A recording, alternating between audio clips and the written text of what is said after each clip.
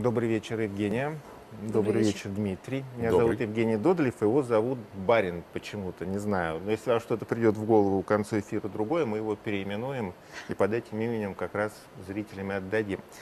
А, Я, кстати, вот перед эфиром готовился, читал разные ваши интервью, совершенно душераздирающую историю про Спаниеля Рекса, который был вашим другом до четырех лет, там, воспитателем. С тех пор у вас были какие-то еще домашние питомцы? С тех пор постоянно есть какие-то домашние.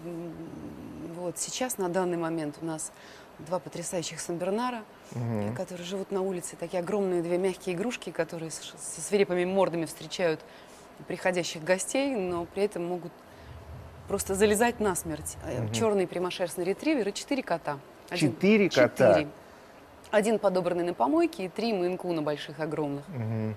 Так что у нас с животными все хорошо. Да, у вас полный набор зверинец. А как, как они, кстати, ладят? э, э, А, они как-то кошки? автономно существуют друг от друга, потому что Ага. коты в доме, а собаки на улице. А, Потому что понятно. им очень жарко в доме, они заходят, но им сразу становится некомфортно, и они спят в сугробах.